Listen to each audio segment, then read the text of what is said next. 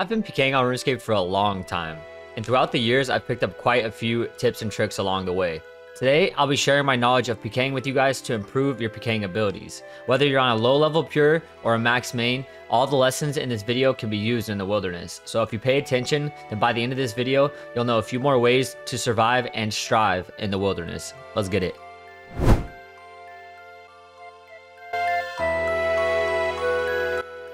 Brews and restores are what's going to keep you alive in the wilderness, but many people misuse them. Potions in RuneScape act differently than food because they don't interrupt your attacks. The reason people misuse brews is they're chugging away at their brews when they need to heal and they're not attacking their opponent back, losing vital hits during the fight.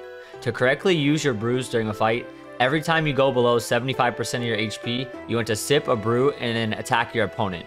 You want to do this three times, followed by a restore sip to get your stats back to normal. But every time you sip, you need to remember to continue to attack your opponent. This will ensure that you miss no hits and get the maximum DPS on your opponent while still regaining your HP.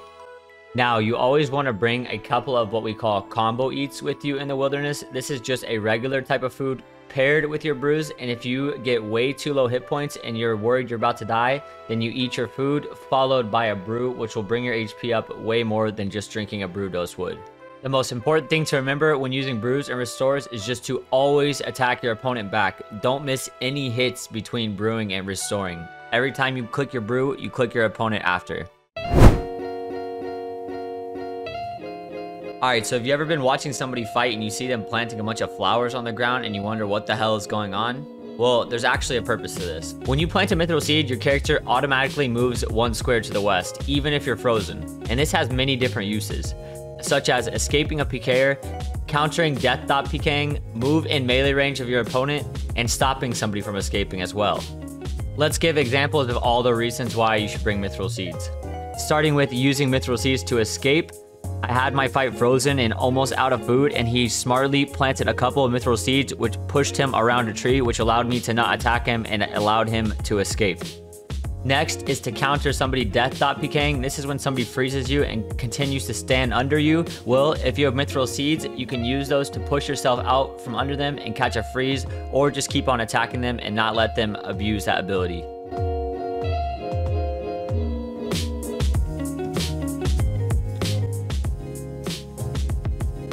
Mith seeds will always push you one square to the west, so if you're a couple of tiles to the east of somebody and you want to get in melee range, then all you do is plant a couple of seeds to put yourself in melee range. So the third use you can get out of mithril seeds is if you're frozen to the east of somebody, then you can plant seeds to push yourself into melee range of them, which you can use to get a KO. Watch this clip where I use my mithril seeds to get into melee range. I AGS spec this guy and then finish him off with a Korasi spec. Okay, the last and I think most useful reason you should bring mith seeds. Have you ever been fighting somebody and they freeze you and then stand under you and you can do nothing but helplessly watch them log out? With mithril seeds, you can change that. When somebody freezes and stands under you, all you do is plant a mithril seed and that'll push you out from under them, which allows you to keep on attacking them and allows you to get that KO.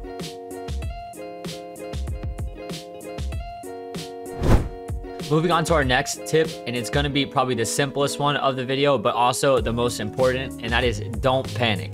Panicking does you no good in the wilderness. When you start shaking your clicks and, and start doubting yourself, all it's gonna do is probably lead you to die.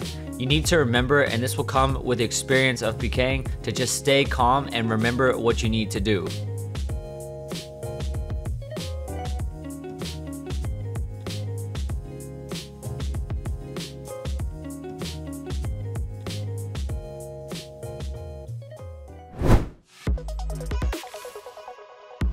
So moving on, we're talking about your combat potions. There's three different times when you should be using your combat pots and make sure that you use them throughout your fight. The first and best time to use your combat pots is the most obvious. It's right before you use your special attack. This ensures you get the max hit to KO your opponent.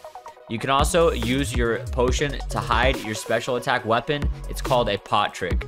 The second time is when you're full or above full HP in your fight. You don't want to use your combat pots at low HP and then take one hit of damage and then have to brew, thus removing your stat bonus from the pot. Try to use your pots when you're full or above full HP. The third time that you should use your pots is when you have momentum in the fight. If you're getting a lot of big hits on your opponent and they're struggling to hit you back, this is a good time to give it your all and use your potions to try and continue to combo your opponent to death.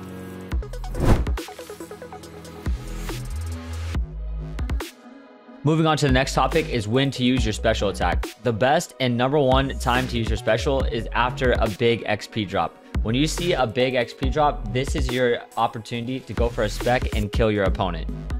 Now, whether you're on a pure or a main, this can differ and it also depends on what spec weapon you're using. But when you're on a pure using a DDS that has four specs, you want to be constantly dropping DDS specs just to keep momentum in the fight, which could lead you to KO them with some other type of weapon like a bolt or a colossal blade hit.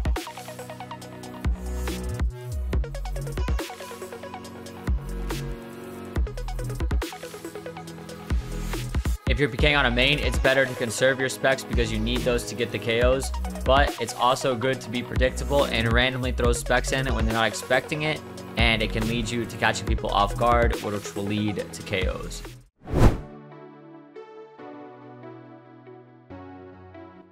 Alright, so the next thing we're going to be talking about is faking.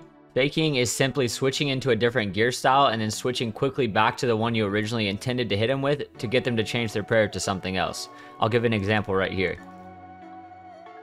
Say that uh, he, um, my opponent is praying range and I want him to pray a mage so I can get a bolt off prayer. I'll quickly switch into my mage robes, which should make him pray mage, and I switch back to my range and then bolt him off prayer.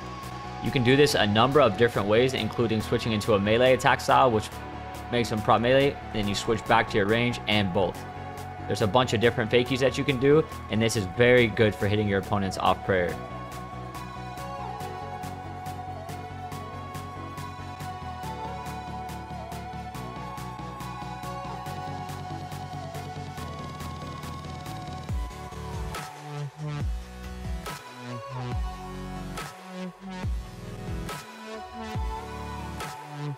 Okay, so here's a clip of me doing a fakie in real time to get myself a KO. I Korasi spec this guy, which made him pray mage, and I wanted him to pray melee so I could get another Korasi off prayer. So I switched into my AGS to make him think I was going to AGS spec, which made him prop melee.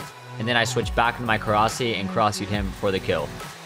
Using fakies while you're PKing will help you tremendously just by pulling out a DDS and running towards your opponent and then the last second pulling out your crossbow 90% of the time, everyone is going to prop melee, and this is going to lead to you hitting tons of bolts off prayer. Trust me, try it. That's going to be all I'm covering in today's video, guys. If you did enjoy and you picked up anything new from this video, then be sure to leave a like. If you want to see more videos like this where I'm explaining PK tips and going more in depth, then be sure to leave a comment down below. If there's anything that you would like me to cover in the next video, then leave it in the comments as well. Guys, thank you so much for watching this entire video. I appreciate it. If you would, subscribe to the channel, and I'll see you guys next time.